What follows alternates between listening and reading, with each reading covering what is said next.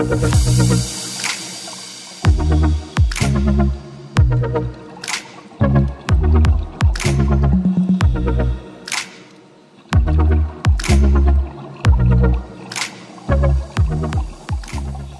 to another episode of Watch Once Over. My name is Big E. Today we're going to be discussing my Marine Master 1000, aka the Emperor Tuna. I'll put all the specifications up over here on the left while we talk about this watch. This watch is the pinnacle of diving. In my opinion, there's there's no other better dive watch than this. You have the lineage you have um, you have the depth rating and you have the unique style of what they call the tuna. Now the reason why they call this watch the tuna is because it's shaped like a tuna can. And this watch, being 52 millimeters in circumference, really wears like about a 44 or 45, and that's because it's a lugless design. Now if you take a look at the bottom, you see the lugs are tucked inside of where the case is. See that? So that means that this watch can be worn on the wrist that is a lot smaller uh, than normal. Now my wrist is 7.25 inches and it fits on my wrist just fine. I actually like the way it fits.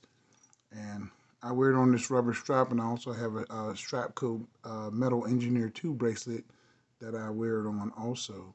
But this watch is super comfortable. The silicone is super comfortable. It has the lovely uh, gold hardware and a Seiko gold buckle.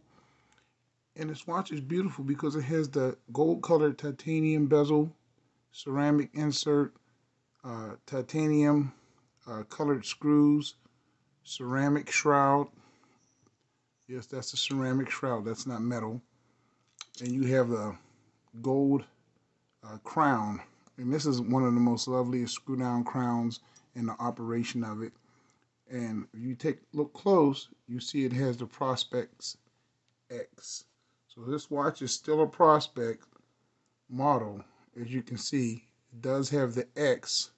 And I think that's where it should be, not on the dial.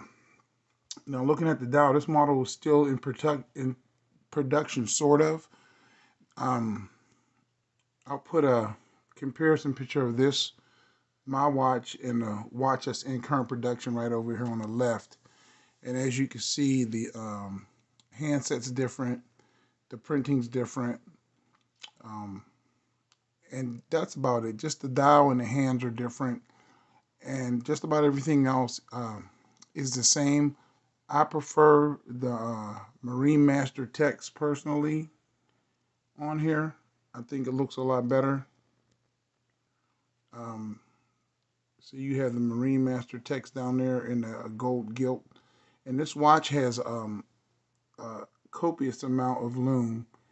And what I do like about this watch is that it doesn't have anything applied. The, the lume was applied directly to the um, dial. You have no applied markers. The Seiko sign is just a frosted Seiko sign.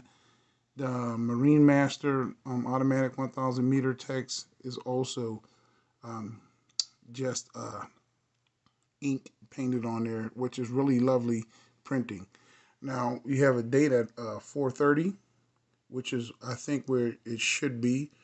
On the new watch, they moved it up to three o'clock, and they kind of screwed up the symmetry of the dial, in my opinion, where you no longer get the the uh, three full indices at uh, three six and nine like you do on this one and you don't have the arrow up top or the arrow hour hand they kind of switched it up a little bit um i don't mind it but i like i just prefer this one better it's, it's a lot nicer um in my opinion now you have the uh bellow style um rubber strap which is super comfortable and Seiko invented that and then on the back here um, you just have some printing uh, Marine Master right down here at the bottom. Try to get a good angle of this. Then you have HE divers. And this watch is uh, built for saturation diving and it doesn't need a helium escape valve like um, most watches that go this deep have because the helium never gets in because this watch has special technology and special L uh, L-shaped gaskets. And the most fantastic thing about this is the lume. But let's get to the time grapher and see what this is running. This has an 8L35 movement, which is basically an undecorated Grand Seiko movement.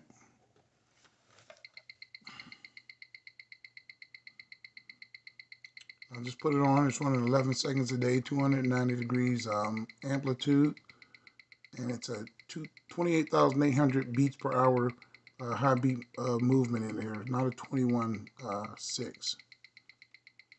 It dropped down to 8.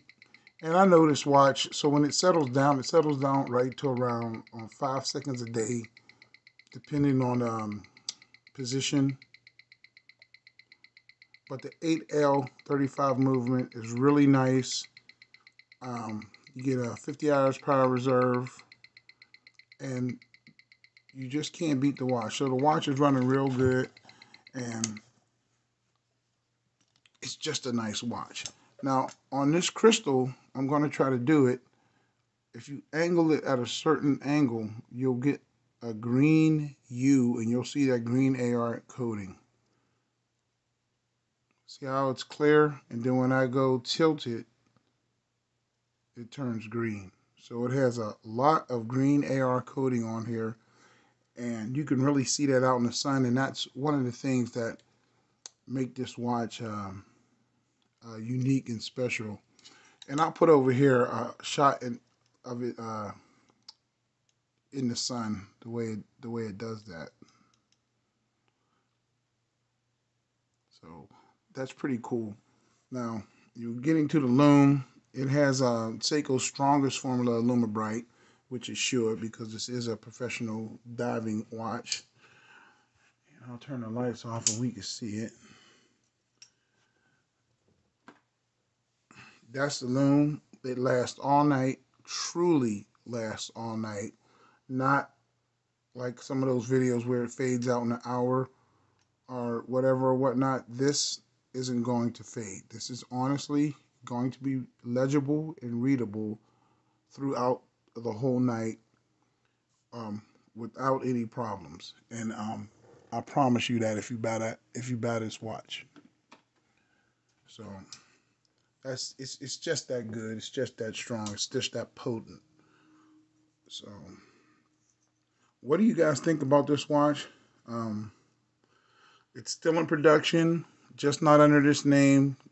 The Emperor has new clothes, but I happen to like mine better. I just do. So tell me what you guys think. That's the watch once over. My name is Big E, and I'll talk to you guys later.